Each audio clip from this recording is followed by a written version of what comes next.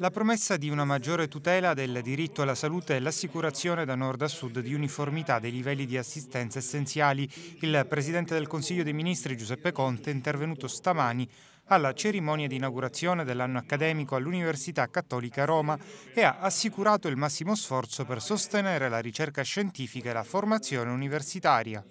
Nessun taglio, qui il Ministro lo conferma, l'ha già dichiarato, noi non tagliamo, noi investiamo sulla sanità, sulla ricerca, l'innovazione tecnologica sono in cultura, formazione, sono sicuramente quei settori che sono strategici per la crescita del Paese.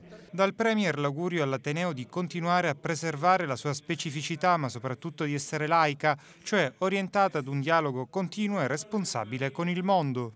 La relazione tra medico e paziente è certamente una delle più intense tra quelle che si possono instaurare nel corso della vita.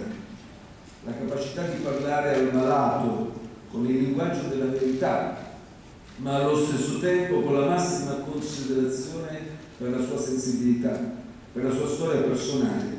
Ecco, sono questi aspetti decisivi, qualificanti delle professioni sanitarie. Nel suo discorso inaugurale il rettore Franco Anelli ha auspicato una prudente riflessione che porti ad ampliare opportunamente il numero dei potenziali iscritti nelle facoltà mediche. Parlando del Policlinico invece ha affermato che ha sempre operato nell'ambito del servizio sanitario pubblico e intende continuare ad assicurare il proprio contributo ad un sistema assistenziale che costituisce un valore prezioso.